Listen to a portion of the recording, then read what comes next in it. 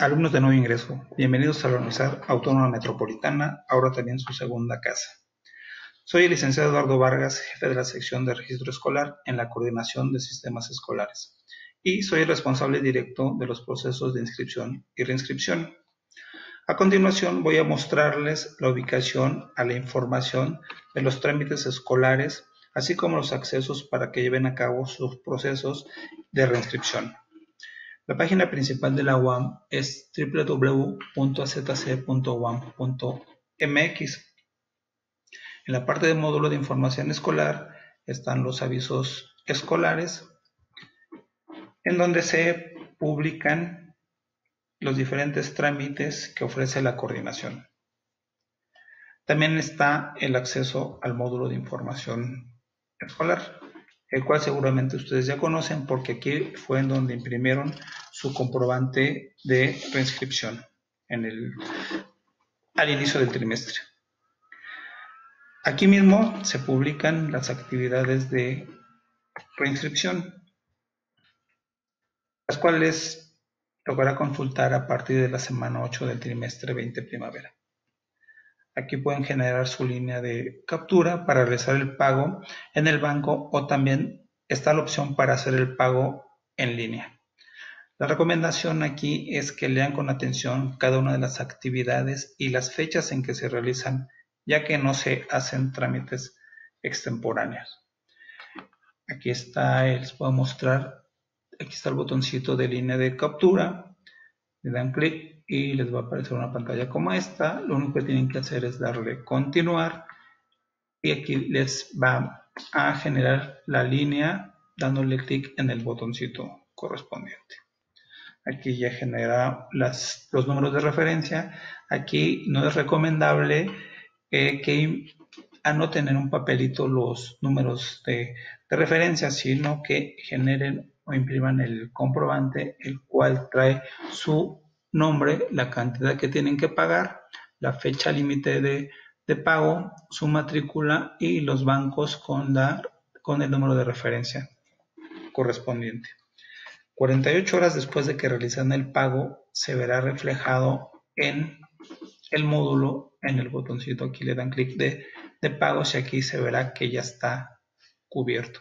Pero son 48 horas hábiles, lo que tarda en verse reflejado en el sistema. Aquí también pueden consultar su Cardex con las calificaciones que se registran trimestre a trimestre. Igualmente, aquí en las fechas indicadas en los avisos podrán realizar su solicitud de reinscripción. Nuevamente la recomendación es leer con atención cada una de las indicaciones que, vienen para que no tengan ningún problema a la hora de realizar su solicitud. Este sistema es muy sencillo, pero sí es necesario que lean con atención las indicaciones que se, que se dan. ¿Sí? Únicamente tienen que darle aceptar en el botoncito y les va a mostrar una pantalla como esta en donde vienen los diferentes tipos de UAS que se pueden inscribir de acuerdo al plan de estudios que estén cursando con nosotros. Si le dan clic aquí en el botoncito de obligatorias, por ejemplo, les va a desplegar las UAS que pueden cursar en el siguiente trimestre. Y aquí en el botoncito de opciones, en cada uno de los grupos les mostrará el horario y el profesor que impartirá ese curso. ¿Sí? Una vez que registren cada una de las UAS a cursar en el siguiente trimestre, entonces les aparecerá la solicitud de inscripción reinscripción.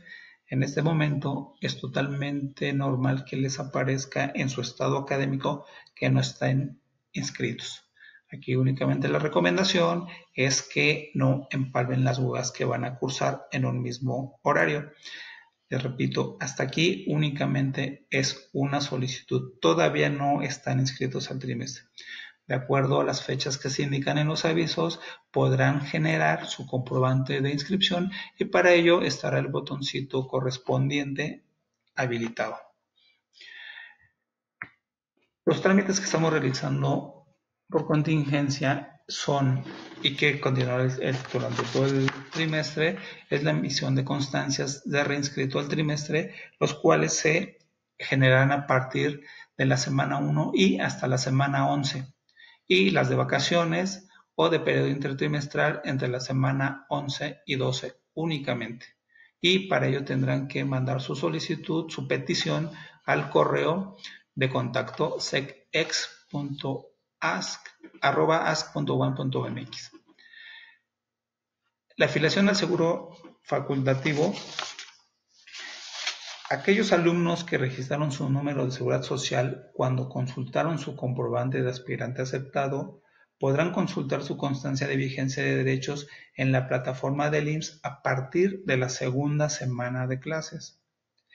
Únicamente aquellos alumnos que por alguna situación de su número de seguridad social o por su CURP o cualquier circunstancia no pudieron quedar afiliados en, en este primer momento, tendrán que enviar la constancia de vigencia de derechos que dirá que no están vigentes, acompañado de la imagen de su identificación oficial y el número de clínica que les corresponde.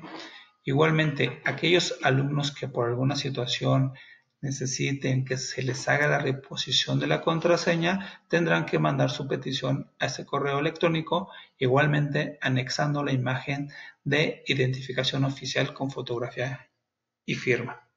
Espero que esta información les sea útil y les facilite eh, de alguna manera los trámites que tienen que realizar en algún momento con sistemas escolares.